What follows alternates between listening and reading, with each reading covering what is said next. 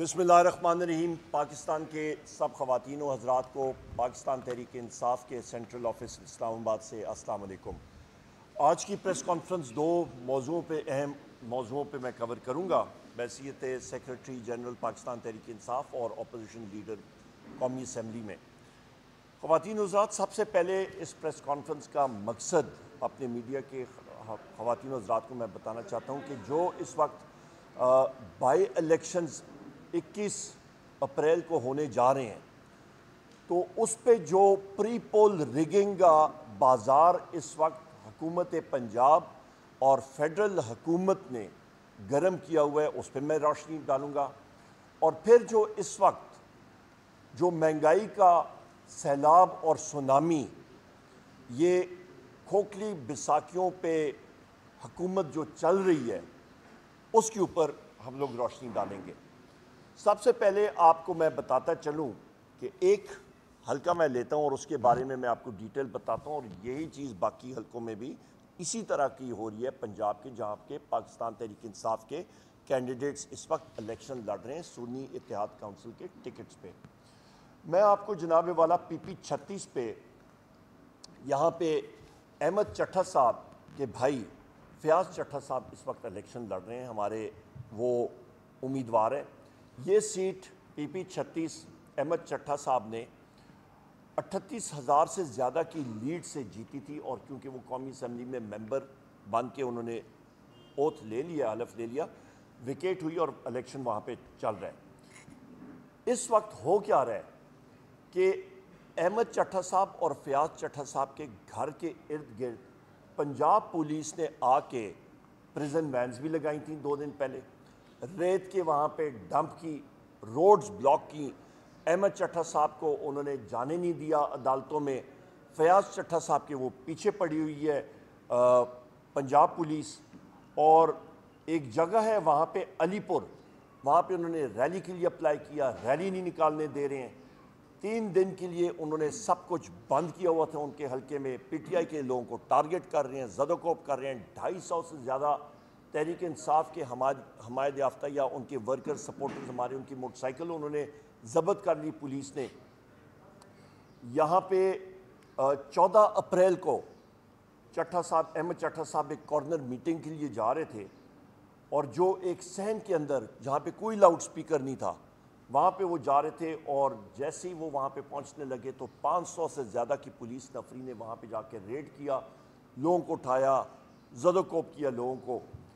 RPO गुजरवाला, अभी ये आप एक ट्रेंड देखें, जो बैसाखियों पे चलने वाली दीमक ज़दा बैसाखियाँ मैं कहूँगा, जो पंजाब हुकूमत है, जिसकी सो कॉल्ड चीफ मिनिस्टर जो है वो मरियम नवाज़ है, और जो डॉक्टर उस्मान है, जो कि एक करप्ट आदमी है, और जो कि अपनी पुलिस फोर्स का तहफ़ भी नहीं कर सकता तो उसने जो पीटीआई के साथ जुल्म सितम किया, वो सारों के सामने है। तो उसके कहने पे जनाब वाला, यहाँ पे आरपीओ गुजरा वाला, उसको चार्ज दिया गया है वज़ीराबाद का, जो कि मुस्लिम लीग नून के कैंडिडेट का करीब का रिश्तेदार है।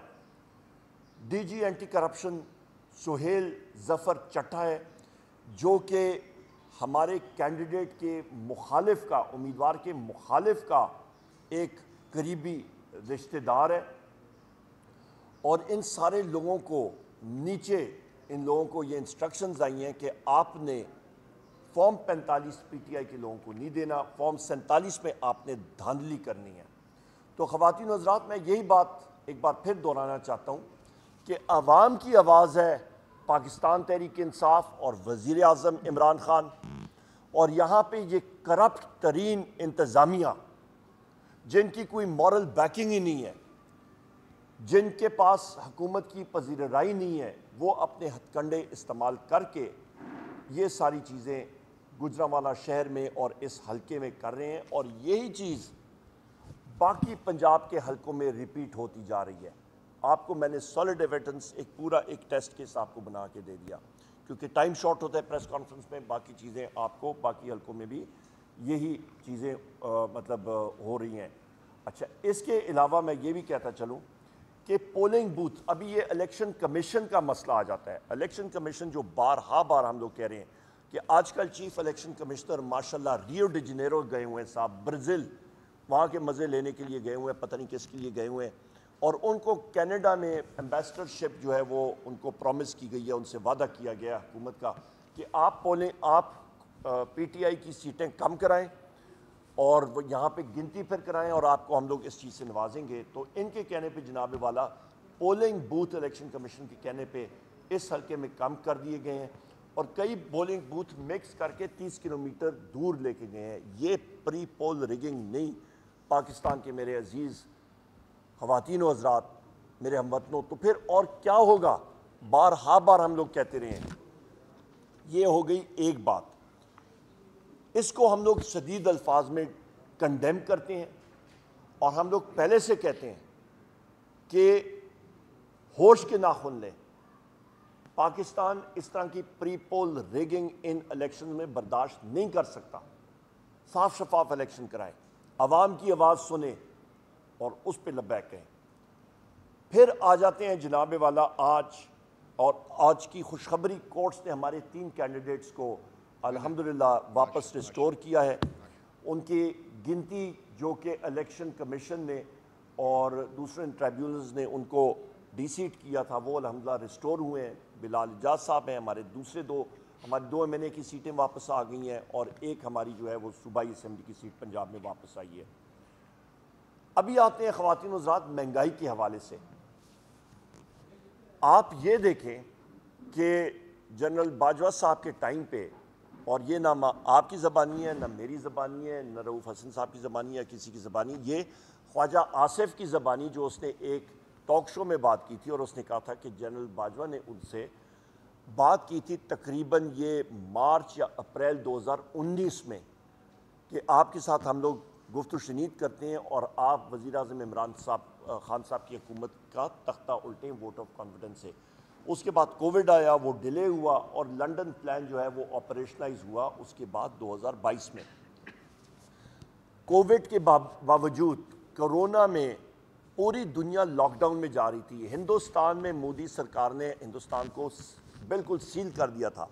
लोग फाकों से फौत हो रहे थे। कारोबार ठप था।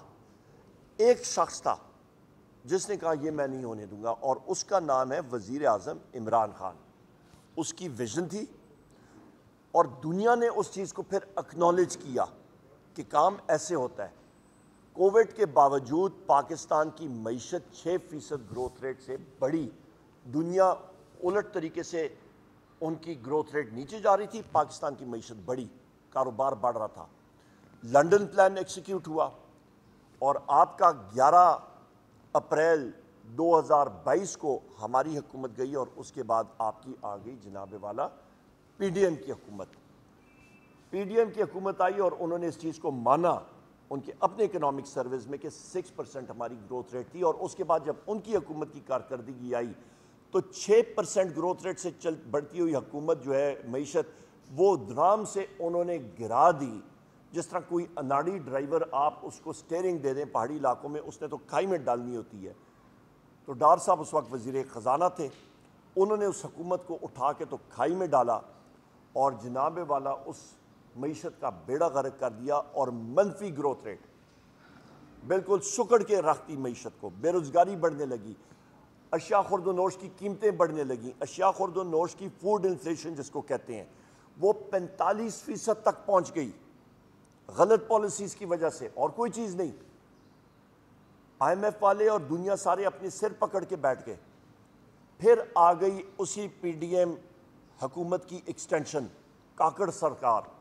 काकड़ सरकार ने कहा कि जी हम लोग पीछे क्यों रहें और अप, हम लोग अपना हिस्सा डालें। और वो भी नाजायज़ हुकूमतें थी। वो अपनी यानी अपनी आइनी मुद्दत से ज़्यादा रहीं।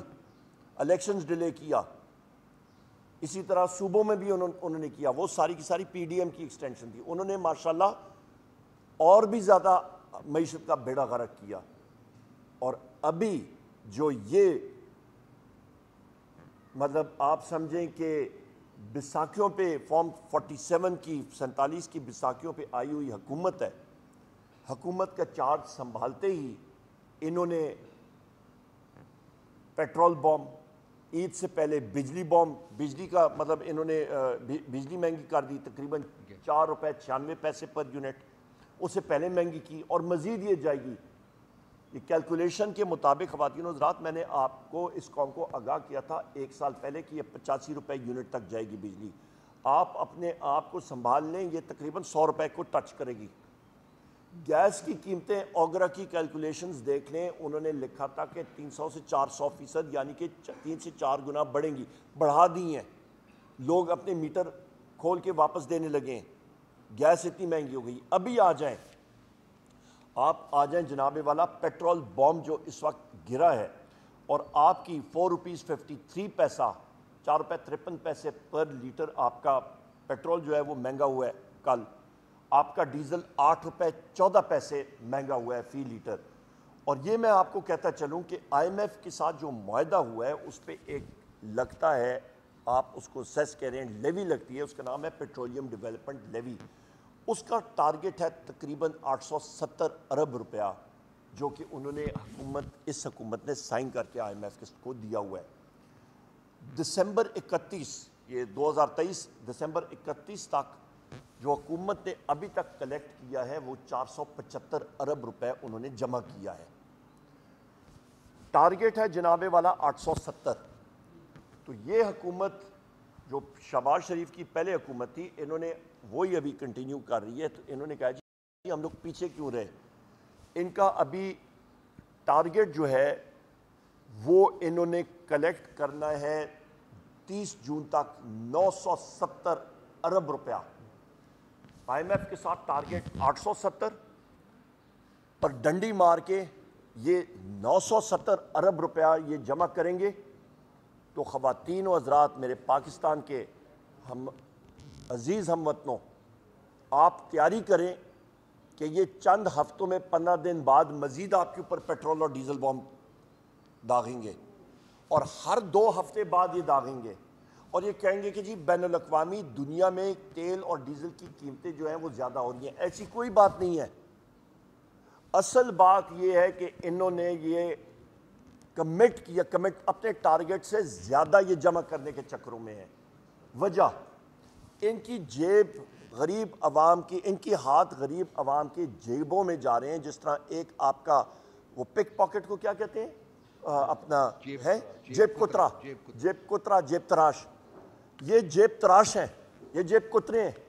ये आवाम की जेबों से उनकी हक हलाल की कमाई ये puppet PPM puppet prime minister Shahbaz Sharif और इसकी काबीना ये सब के सब जेब तराश हैं। लोगों की जेबों से ये पैसा ले रहे हैं। टारगेट से ज़्यादा इन्होंने कलेक्ट करना है। वजह कि इनका टैक्स का टारगेट ये सही तरह पूरा नहीं कर सकते हैं।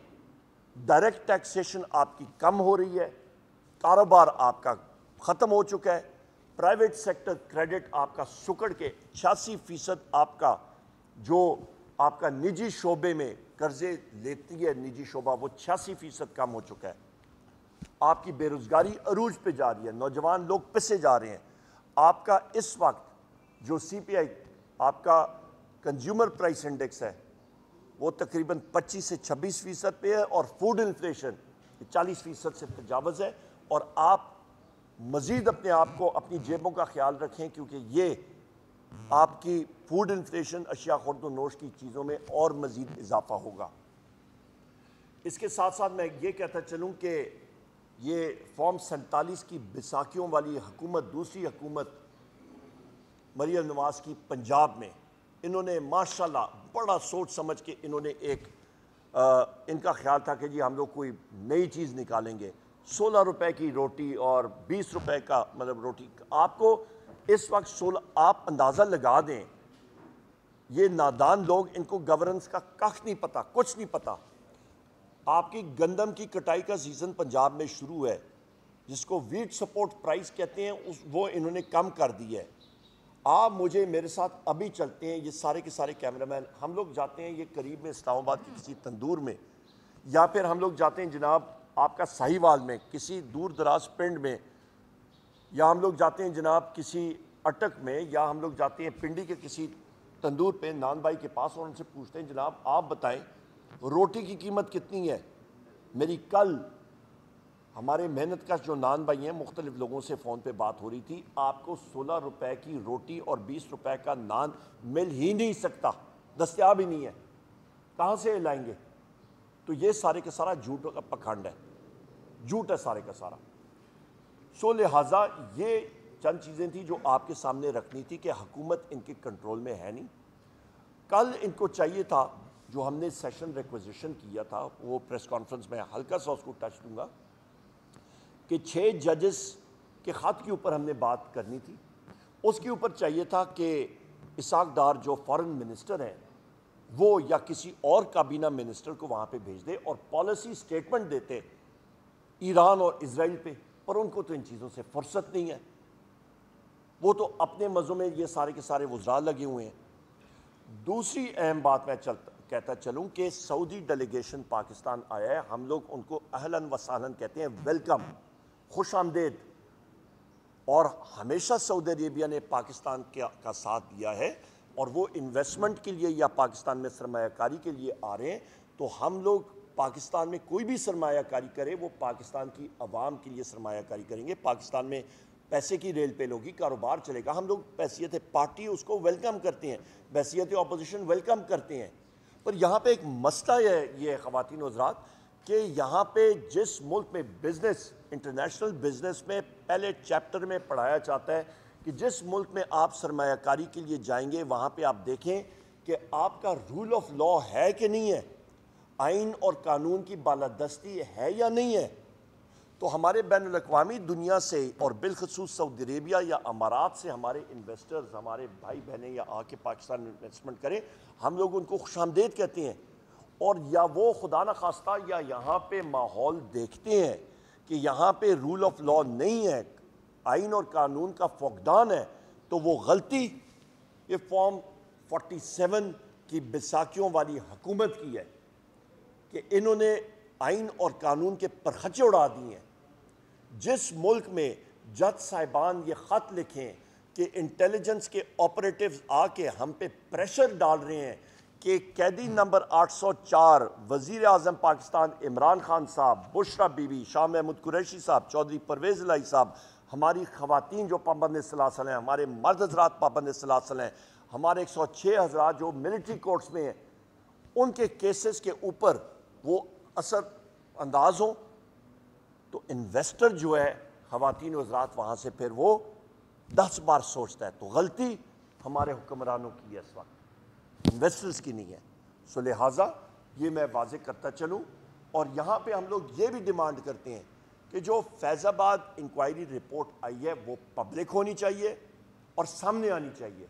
इसको किसी फ़ाइल में बंद करके अलमारी में बंद ना करें पब्लिक करें उस चीज़ को। और एक और अहम बात कि भावल नगर का जो इंसिडेंट हुआ है, जिसमें पुलिस और फौज मुलवस थी, दोनों आपस में उनका गुथम गुथम हुए हैं। लिहाजा वो इंक्वायरी रिपोर्ट एक जज साहब उनके जेर साया या उनकी निगरानी में होनी चाहिए। दूध का दूध, पानी का पानी होना चाहिए और जो लोग उसमें कसूरवार हैं उनको कैफर किरदार तक पहुंचाना चाहिए। यहाँ पे मैं ख्वाजा आसिफ की एक स्टेटमेंट पढ़ रहा था कि पुलिस के लोग, पंजाब पुलिस के लोग, ओ भाई आपने ही इस चीज़ पे बुरी आदत पे डाली है ना, पंजाब पुलिस को, कि वो पुलिस फोर्स नहीं रही। वो जिस तरह चोर डकैत किसी के घर में जाते हैं, रात के अंधेरे में, दीवार में, फलांग के बगैर वारंट के तो वो अभी आदत पड़ गई उनको। तो उसी तरह वो एक घर में गए, बगैर वारंट के तो वो ख्वाजा आसिफ के बकौल के जी पंजाब पुलिस बगैर वारंट के गई और ये सारा सिलसिला हुआ। तो भाईजान, मैं आपसे पूछना चाहता हूँ ख्वाजा आसिफ। ख्वाजा आसिफ साहब, जनाब, कि पीटीआई के घरों में, हमारे अपने घरों में जो पुलिस फोर्सेस आती रही हैं तो वो फूल के बुके और वारंट फ्रेम करके आते रहे हमारे पास? और हमें उनको, रात को हमें वो पेश करते रहे कि जी, आपके लिए तोहफा लाए, मेहरबानी करें। वो कौन से वारंट के साथ आते रहे? इसका मतलब ये है कि पाकिस्तान के किसी भी देहात में पुलिस जब रात रात को आती है तो लिहाजा अगले दिन या उसी वक्त सारे लोग, पचास, सौ लोग इकट्ठे होकर तो पुलिस थाने में जाए और धुलाई करें और मुर्गा परेड बनाएँ या डडू परेड कराएँ। ये ये हम लोग मतलब उस, उससे मतलब लें। सो लिहाजा खुदारा एक डिसिप्लिन इदारों के दो अहम सतून हैं लॉ इन्फोर्समेंट के। वहाँ पे या डिसिप्लिन का फकदान हुआ है। तो बहसीत कौम बहसीत महब वतन पाकिस्तानी हम लोग डिमांड करते हैं कि इम पार्शल जुडिशल इंक्वायरी होनी चाहिए और कैफर किरदार तक पहुँचाना चाहिए। आखिरी इंपॉर्टेंट पॉइंट कि अल्हम्दुलिल्लाह रबुल्ज़त की मेहरबानी के साथ हमारी छः पार्टीज़ का अलायंस यानी इतिहाद वो बन चुका है और तहरीक तहफ़ आइन पाकिस्तान के नाम से और इन सारी पार्टियों के हमारे जो सदर हैं, वो महमूद ख़ान अचकजई साहब हैं और हमारा एक ही वहाँ पे टारगेट है कि पाकिस्तान में आइन और कानून की बालादस्ती साफ़ शफाफ तरीके से होनी चाहिए। बलूचिस्तान में हम लोग गए, हमारा पिशीन के मुकाम पे जलसा हुआ, हमारा चमन के मुकाम पे जलसा हुआ। वहाँ पे, जहाँ पे लोग सोच भी नहीं सकते थे, आईने पाकिस्तान जिंदाबाद पाकिस्तान जिंदाबाद के नारे गूंजे। और जहाँ पे चमन पे हमारे ये जलसा हुआ था, तारीखी जलसा, बिल्कुल पाक अफगान बॉर्डर पे थे हम लोग। मैं चैलेंज करता हूँ, हकूमत की किसी पार्टी को जाके वो इन्हीं दो जगहों में अपना जलसा करके देखें। मैं इनको चैलेंज खुला चैलेंज आज इसी जगह से, ये पीपल्स पार्टी हो गई या मुस्लिम लीग नून हो गई, ये जाके चमन में उसी जगह पे जलसा करके देखें। ये पिशीन में उसी जगह पे जलसा करके दिखाएँ। ओपन चैलेंज है, दूध का दूध, पानी का पानी। और वहाँ पे वही अवाम पाकिस्तान जिंदाबाद के नारे मारे। अल्हम्दुलिल्लाह खवातीन हजरात, जो पाकिस्तान की यूनिटी की लामत है, उस शख्स का नाम वज़ीर आज़म इमरान खान है।